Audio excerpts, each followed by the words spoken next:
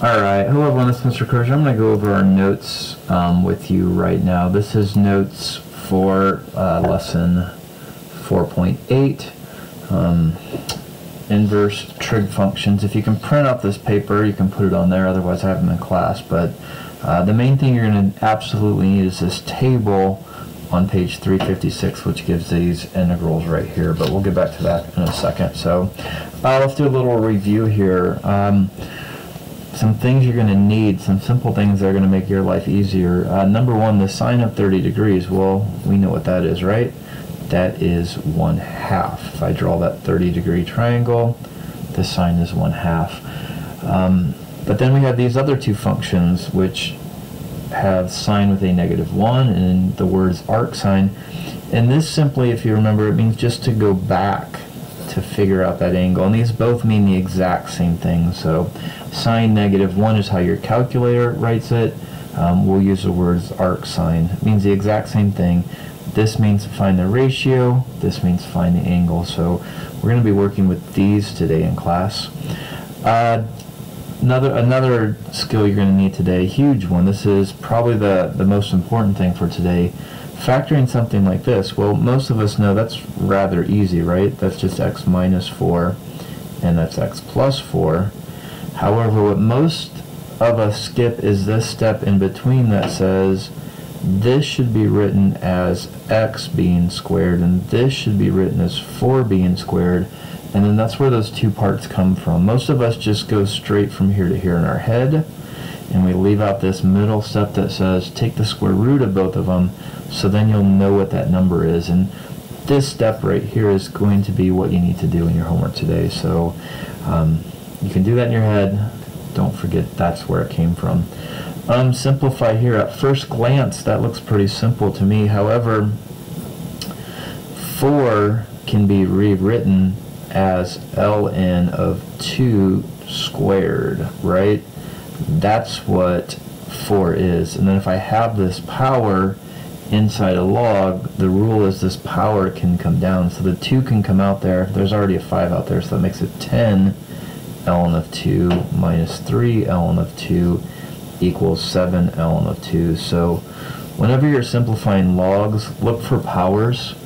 Uh, if there's powers inside your logs, they can always be simplified out. So always do that or else you're not going to get a simplified answer. And it's going to be hard to match up some of the homework answers if you're not simplifying them. All right, uh, problem A. Um, here we go. We have to integrate this crazy function and we could try some u substitution, but we have a lot going on here.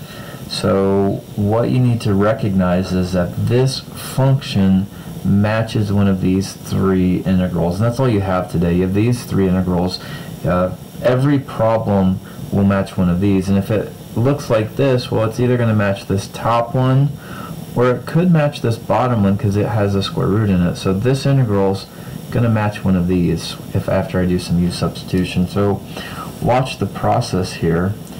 The process is to use this logic up here and to say, look, this is really dx over the square root, not 16, but 4 squared, kind of like we rewrote that, minus, not this thing, but 3x squared, and that's your first step. Take the square root, break it down into 4 squared and 9 squared, and if you can do that step, the rest of it just kind of falls in place. So now what we're going to do is do some u substitution. This is always a u, so makes it real simple today if you can get to these. If you can get to these, life's pretty easy. Um, let's see here, this is du, dx, 3, let's pull this over here, 1 third du dx. There's my dx, put that in there, 1 third, um, with a du, square root, 4 squared, let's leave that alone minus u squared. And now we have that letter for letter lined up perfectly. We have a du, du, we have an a which is a constant, we have a u which is a variable. So now we can go right into the answer of one third arcsine. Arc sine again, your calculator just says inverse sine, same thing. And u on the top, and u is 3x. Uh, a on the bottom, a is 4, and don't forget to put plus c. So they are rather straightforward. If you can, if you can line them up here, the key is to write it out this way and let u be that part that's being squared. There, there, and there. All right, rather straightforward. Let's go on to another example, example B. So now we have this function, and we could do some integration, but it does get tricky. Gets really tricky really fast, but hey, it, it's going to be one of these, and it matches that. I have something squared plus something else squared. It's no square root, no, so it's absolutely this function right here. It's arctangent. Well, what do I do first? First thing I do is, uh, I'm going to pull this constant out. I'm going to deal with that constant later. I always do that. Um, this is 2 squared. This is 5x squared. And I always write it like that. Just, that's a simple step to do. And now what? Now let's make it look like that. This is my u. u is 5x du dx 5 1 fifth du dx. There's my dx right there. So it's 1 fifth coming out. So, oops, I put this wrong out here. I apologize. That should have been a 3. I just pulled a constant straight out. That's a 3. My fault. So now I pull out the 1 fifth. That is now 3 fifths integral. And dx is now du. And that is 2 squared and this is 5x. Whoops, I'm in the world of u, so it is now u squared. And now I have it exactly looking like this. There's a du by itself, an a squared, a u squared, and then I can go right to my answer. Don't forget the constant, 3 fifths. Uh, 1 over the a value, 1 over the a value, um, arctangent, and um, u, which is 5x, and a, which is 2, plus c, and that becomes 3 tenths arc tangent 5x over 2 plus c. Follow the steps, do them in order, and you will wind up at one of these exactly, and then just follow the guidelines for doing that. Um, again, make sure you do this right here. That's the key, and this is always u. Most of the times people write 25 over here, and it's not 25, it's 5. Alright, last problem. Probably the trickiest one. Um, it is tough. Um, we've done that one, we've done that one, we have not done that one, so let's do an example down here for arcsecant.